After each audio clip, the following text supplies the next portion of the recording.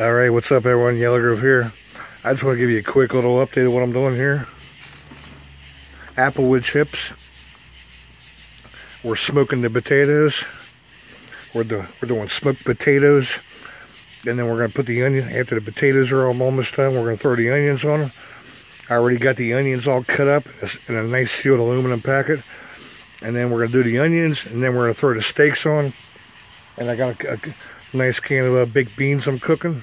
We're going to throw those on the grill in my metal pan. So let's go and shut this lid. Let that, uh, let all get caught up. Man, this is to be so nice, man. So potatoes, onions, and steaks.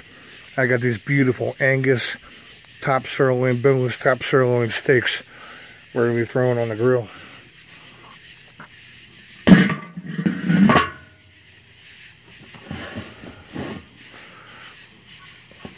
Make sure you get your vents right. I like to go about halfway. Halfway open.